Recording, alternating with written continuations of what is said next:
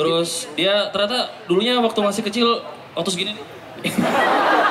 Udah jadi artis. Iya, ak- seorang aktris. Jadi dia pernah membintangi beberapa iklan dan film sejak umur 8 tahun. Iklan sampo kali ya. Iya.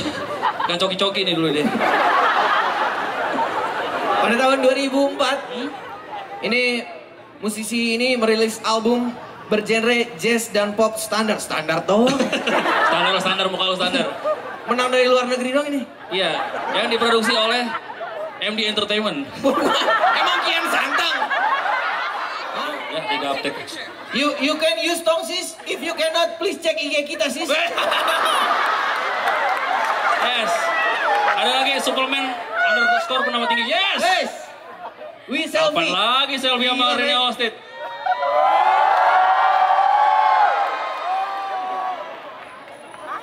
Lo ket, eh, dia ketinggian nih, eh bisa nggak Yaudah pencet? gua gua pencet. Ya susah banget dong. I want to push you, eh salah. One more, one more to to audience. Lama-lama foto-foto doang nggak nyanyi nih anak. One more to audience.